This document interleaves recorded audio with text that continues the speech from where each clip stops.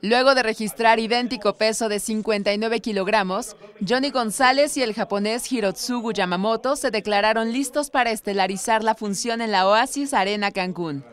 En una ceremonia realizada en el hotel sede de la contienda, ambos pugilistas marcaron el límite de la división superpluma rumbo a la pelea por el cetro internacional plata CMB. Satisfecho tras superar el último requisito antes de subir al ring, el pugilista capitalino reconoció que será una pelea complicada, pero se mostró seguro de salir con el brazo en alto.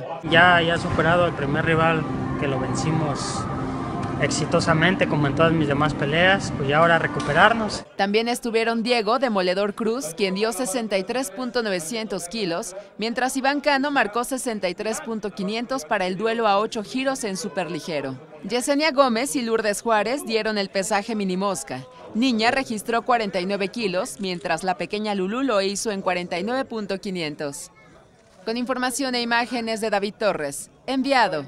Notimex.